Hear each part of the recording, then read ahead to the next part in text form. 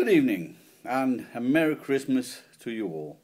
Of course, a lot of young men at this time of year, especially virgins, they're wanting to, well, get their end away with their first girl. I always suggest going for a fat girl. Yes, they're probably your best bet. Anyway, so how do you get a fat girl into bed? Well, it's a piece of cake. There you go.